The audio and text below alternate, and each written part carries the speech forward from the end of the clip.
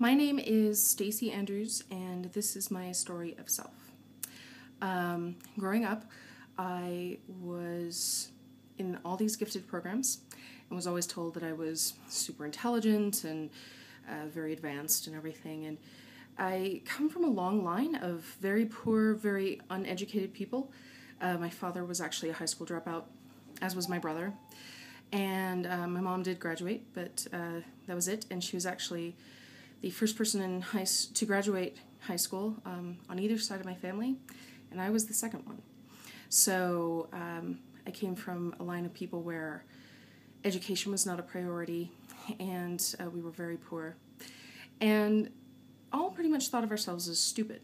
So I grew up um, as this you know bright, intelligent kid that was always thrown into different classrooms and they tried all this different stuff with me because it was the 80s and it was before we had as much knowledge of education as we have now.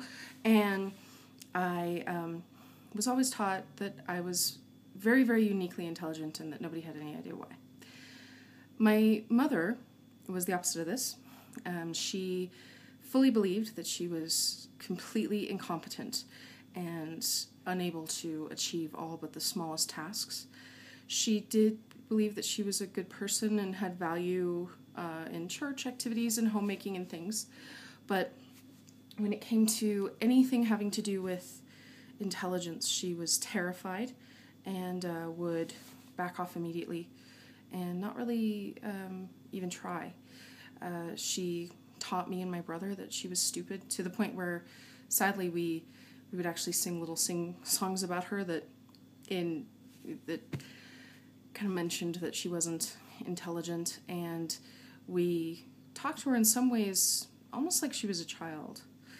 Um, there was one day when I was 19 years old, uh, about this was about four or five months before she died, that my mother was setting up a desk for me. She'd gotten me a job at the place where she worked, and she was setting up the desk for me and plugging in a radio. And the radio's volume was set all the way up, and so when she plugged it in, it started blaring, and she turned the volume down, turned the radio off. And I was in the next room and didn't know this was happening. And she comes running out to me down the hallway, and she's so excited, so proud of herself. Stacy, oh my god, I have to tell you, you're gonna be so proud of of me. Um, she said I plugged in the radio and it started blaring, and I didn't know what to do, and I stopped and said, Darlene, you can do this. And I took a deep breath and realized it was the volume and turned the volume down and fixed it. And in that moment, I remember looking at her thinking, this, this is not in any way remarkable, but yet she feels it is. And I, I can't describe it, but in that moment, I instantly understood that intelligence is not a product of, of what we can actually do, but what we believe we can do. And I realized that all those things I'd said about my mom and that she'd said about herself and that we all believed about her were not true. And instead were just a product of what she'd been told when she was young or what she'd been told by her parents or, or however it was that she came about believing that and became a self fulfilling prophecy. And that I gotten my intelligence from her. Um, sadly, she died a few months later, and as I got to be older and got to be an adult, I began to look back on the things she did and realize she was remarkably intelligent, very capable, and that I likely did get that intelligence from her, and that I never had a chance to share that with her, um, and that she never had the chance to believe in herself.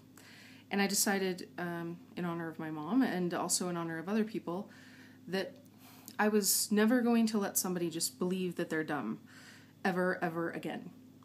And that I would always tell people you are intelligent, and I believe that you can do this. And maybe you have to do it a different way. Maybe it takes you a little bit longer, but I completely believe that you are just as capable as me or anyone else. And I've done that consistently. Um, in the job that I have now, I was tasked with um, taking athletes who frequently believe that um, they're dumb because they believe in the stereotypes. And I would sit with them and tell them this exact thing. And I've now worked with several athletes who initially came to me saying, I can't do college, I'm not smart, I, I'm lucky I graduated high school, who are now doing well in college and have worked with me and have worked with their professors to be able to believe in themselves and believe that they have those opportunities and, and capabilities. Um, and that's part of the reason why I'm doing Teach for America is because I want to be able to do that um, and spread that among kids as well and get them get them young before anybody tells them that they can't do something and let them know that I really believe they can. Um, because I don't really want anybody to spend their whole entire life thinking that they can't ever again. Um, it's very sad that that happened to my mom, and I will do anything I can to make sure it doesn't happen to anyone else. Thank you.